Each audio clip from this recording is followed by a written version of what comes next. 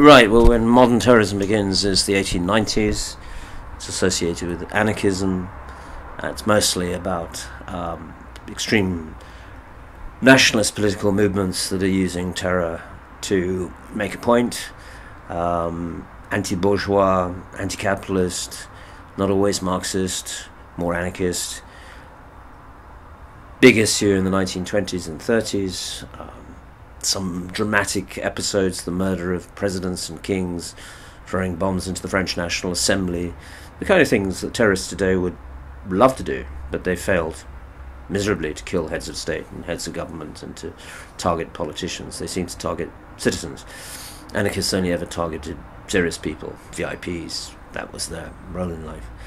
Um, it's moved in the 1960s and 70s into ethno terrorism, uh, groups that were secessionist or groups that wanted independence. Two oldest in Northern Ireland, of course, and uh, and in um, the Basque country, both beginning in 1969. Um, and now, of course, uh, religious, Islamic fundamentalist, but also I would say fundamentalist in general. So it's fundamentalism just being a, a, a catch-all term for groups that from a religious or non-religious point of view, just don't believe in compromise, don't believe in negotiation, uh, just believe in a kind of utopian society. Purity is all important.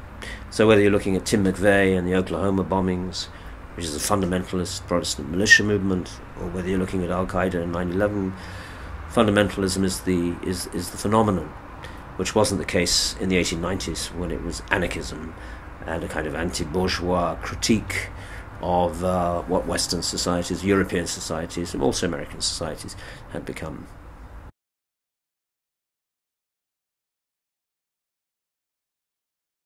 It's, I think, in its religious manifestation, it's probably burning itself out. Uh, there may be another generation. The United States has successfully defeated Al Qaeda, has successfully destroyed most of the organization at enormous costs, of course, to itself and, and to others. But I would think that the future of terrorism is anti-global, the anti-globaliz- parts of the anti-globalization movement turning to violence and away from street protests of the kind we've seen in Seattle and Hong Kong and elsewhere.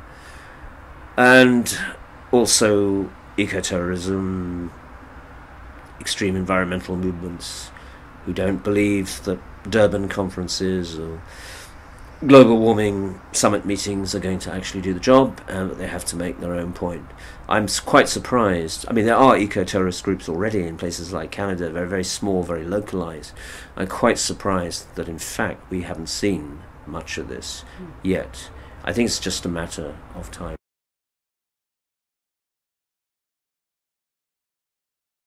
Uh, terrorism has always existed, but it's mostly been a phenomenon of states against their own citizens.